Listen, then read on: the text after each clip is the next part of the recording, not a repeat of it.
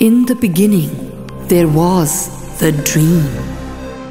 The muezzin is calling the faithful to dawn prayers. The call, insistent, shrill, powerfully male, has penetrated my dreams, forcing me awake, but not yet woke.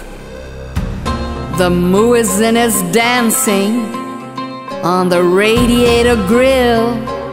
The Sharif don't like it. So, baby, rock that Casbah. I know, I know I have to run to escape somehow.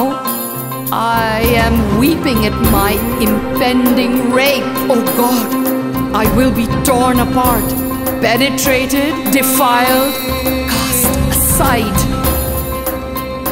I jump out the window and then I am off, running on the sand, chased by gorgeously threatening young men.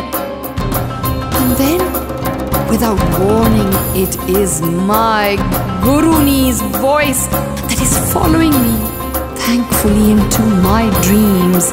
She, he, they are telling me to wake up, to wake up in a third space where the call to prayer is neither he nor she.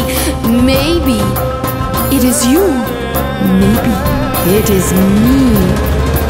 Ya Faqeera! Mola Faqeera!